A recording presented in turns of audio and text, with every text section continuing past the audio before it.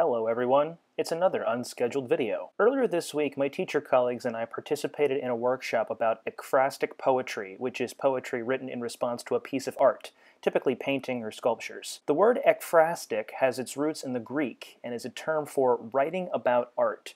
During the course of the workshop, the presenter displayed this painting, titled Landscape with the Fall of Icarus, and told us to look at it for a moment and take note of anything that stood out to us. She then proceeded to read two ekphrastic poems that were written in response to this painting.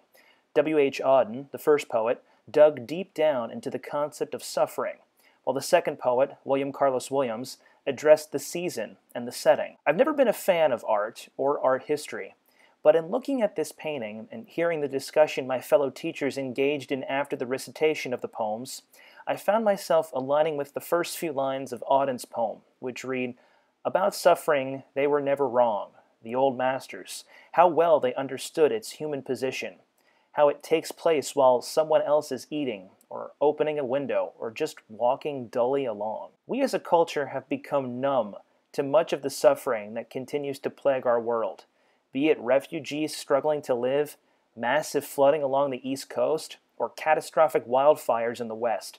So much suffering happens, yet life just continues. We wake up the next day, we go to our jobs, we return home and do it all again without nary batting an eye until we're the ones suffering. It's only then that we ask, how can you just keep going? How is it that the plowman keeps on plowing his field, or the fisherman keeps on fishing, or the boat keeps on sailing? How can you keep going when I'm suffering? when I'm broken, when I'm in need. And yet, somehow, we do. It's easy to write off suffering when it's not ours. Yes, it's important to put the needs of our own flesh and blood before the needs of others, but aren't we all the same under the eyes of God? When a child suffers, that's God's child suffering. When a family is stricken with grief because of an unexpected loss, that's God's family suffering. Welcoming refugees, comforting those who are mourning, and applying all of the other works of mercy help us acknowledge that while you are not my flesh and blood, you are a child of God, and therefore you matter. Everyone experiences suffering. There's no way around it in this life, and ignoring it will certainly not make it go away. So I ask you, how will you help to relieve someone of their suffering? It doesn't have to be something grandiose and amazing.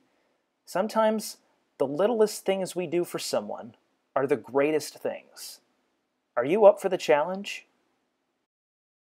Incidentally, Icarus is the name of a song on Emma Blackery's debut album, which comes out two weeks from tomorrow and is available for pre order right now.